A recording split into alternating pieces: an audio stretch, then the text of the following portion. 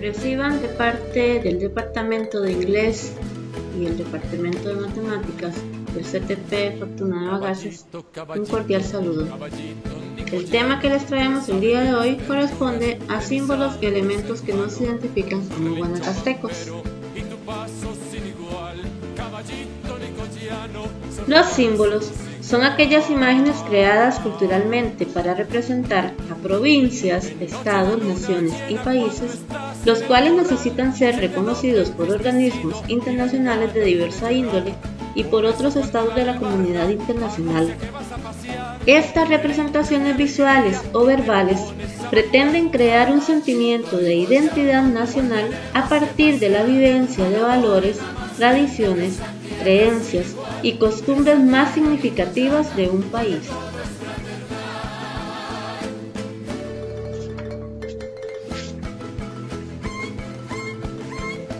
Los símbolos regionales de Guanacaste evidencian en a través de diferentes elementos simbólicos todo lo que es el ser guanacasteco. Dentro de los más representativos encontramos la bandera, el escudo, el himno, y el árbol de Guanacaste.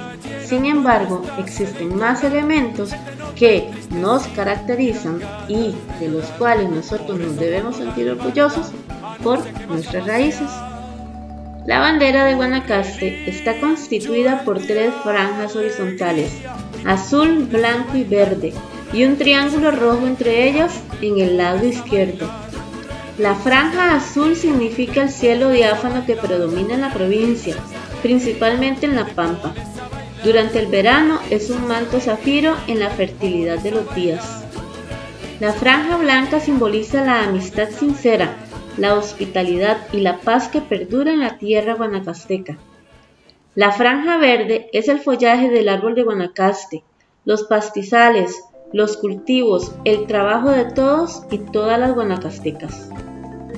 El triángulo rojo exalta el corazón generoso del guanacasteco y la guanacasteca, su afecto y su alegría tradicionales, su valor y espíritu de lucha demostrado en múltiples oportunidades. En la bandera de Guanacaste se reúnen la bandera de Costa Rica y el verde distintivo guanacasteco. Es un símbolo de esplendor espiritual, se debe respetar y utilizar en todo acto cívico que se lleve a cabo en la provincia y fue creada por el distinguido ciudadano tilaranense Eddie Alvarado Herrera.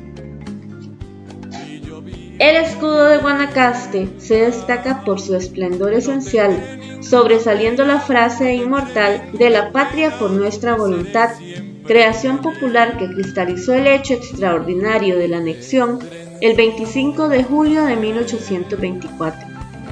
Este acontecimiento florece en nuestra historia como huella inmarcesible en el corazón radiante de nuestra patria. También aparece el árbol territorio, el bellísimo Guanacaste, en la plenitud de la pampa, que se pierde en el horizonte a la luz del cielo rojo durante la época seca. Fue aprobado en el año 1929 mediante el decreto número 17936. Su autor es anónimo. El himno de Guanacaste expresa los valores de Guanacaste eterno, unión indisoluble de personas y paisajes, en aras del progreso regional y nacional.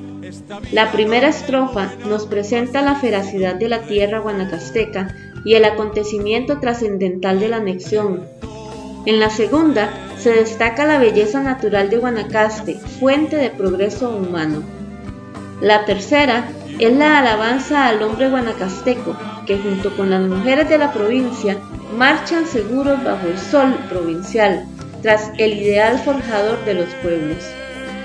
En la cuarta estrofa sobresale la fusión espiritual por la patria mediante el valor esencial de la paz. El himno es el canto que simboliza a todos y todas las y los guanacastecos, conjunto de características y valores que singularizan nuestra patria regional. Se debe cantar en todo acto cívico que se realice en Guanacaste.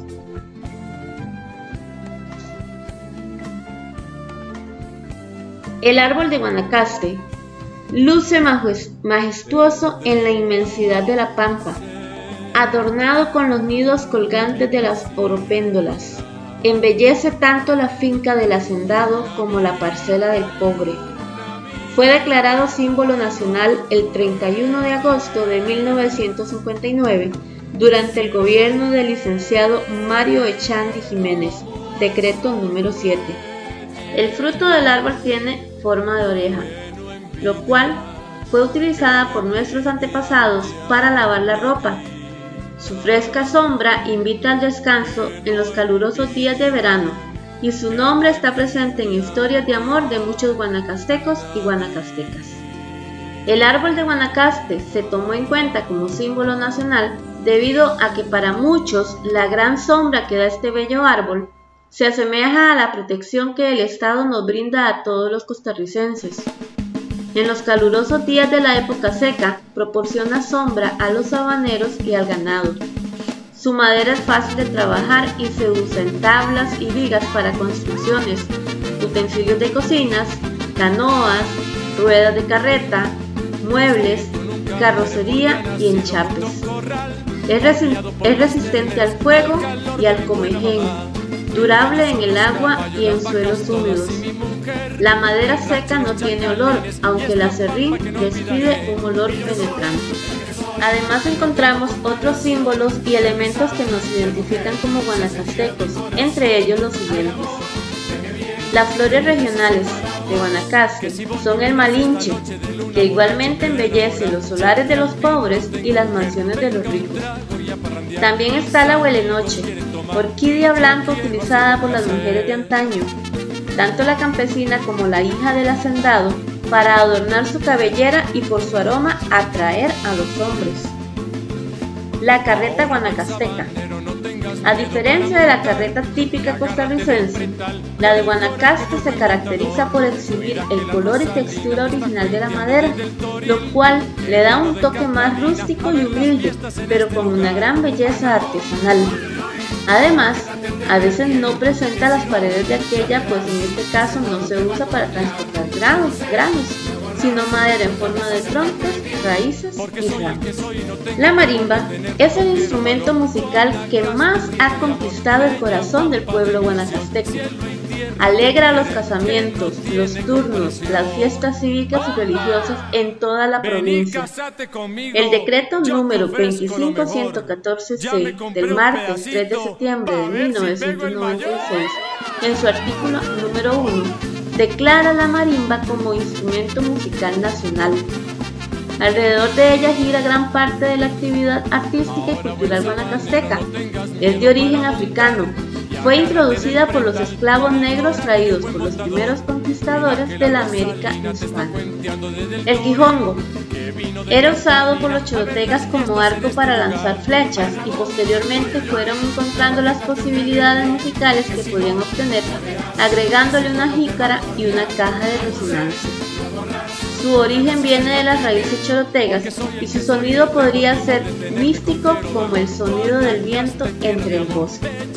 Otros elementos que debemos agregar son el sabanero guanacasteco, trabajador del ganado, especialista en arriar, ordeñar, lazar, montar toros y amansar bestias, pilar en las haciendas, forjador de la provincia, imagen eterna de Guanacaste. El campesino y el espeque. Figura relevante en la provincia de Guanacaste. Espeque, palo puntiagudo usado para sacar plantas con sus raíces y abrir hoyos para sembrar. Campesino y espeque, con el jicarón o sembrador. Conjunto de esperanza en el surco, la semilla que ha germinado en nuestra tierra, horizonte dorado de espigas en el porvenir guanacasteco. El campesino con el espeque, el cumbo y calabazo. La hacienda ganadera. Grandes extensiones de tierra en manos de un pequeño grupo de propietarios, la mayoría asentistas y que constituyeron la unidad productiva dominante en Guanacaste, dedicada desde la época colonial básicamente a la ganadería extensiva. Estos latifundios, en casi todos los casos, fueron propiedad de personas influyentes de Nicaragua o de la región central de Costa Rica, especialmente de Cartago. Las haciendas fueron dedicadas a la crianza de ganado, el cual deambulaba libremente por los sitios porque no había cercas ni linderos precisos. Fueron muy extensas si se les compara con las fincas de la región central del país, pero muy reducidas si se les compara, por ejemplo, con los grandes latifundios ganaderos mexicanos de aquella época. Lavanderas y areneros del Tempisque. El río Tempisque es para los guanacastecos lo que sería el Nilo para los egipcios. Los beneficios que de él se extraen son muchos. Por ejemplo, como vía de navegación desde mucho tiempo atrás, el río posibilitó que los habitantes de la región se trasladaran en pequeñas y medianas embarcaciones que desembarcaban en puertos de cabotaje a lo largo del río. Esto a su vez posibilitó el intercambio y venta de mercancías, dinamizando la economía de la región y vinculando la región con otras. También la pesca, la extracción de arena que para muchos filadelfinos permite el sustento de las familias, para labores domésticas como lavar ropa u utensilios de cocina, para la diversión y socialización de las familias. En fin, el río es un símbolo de vida, trabajo, belleza e historia. Iglesia Colonial de Nicoya. Hasta el año 1544 se erigió la parroquia de Nicoya, la más antigua establecida por los españoles en nuestro territorio nacional, dedicada a San Blas, la primera ermita fue construida posiblemente de paja. La iglesia fue destruida por un incendio en 1634, lo cual significó una gran pérdida, ya que con la edificación se fue también el archivo donde se guardaban valiosos documentos. En 1644 se edificó una iglesia de calicanto, techada con teja. El templo parroquial levantado en la primera mitad del siglo XIX fue declarado reliquia nacional mediante ley número 141 del 28 de julio de 1923. La iglesia actualmente es sufragánea de la diócesis de Tilarán de la provincia eclesiástica de Costa Rica. El Departamento de Inglés y de Matemáticas les agradece su atención. A la vez, les invitamos a vivir estos días con mucho orgullo.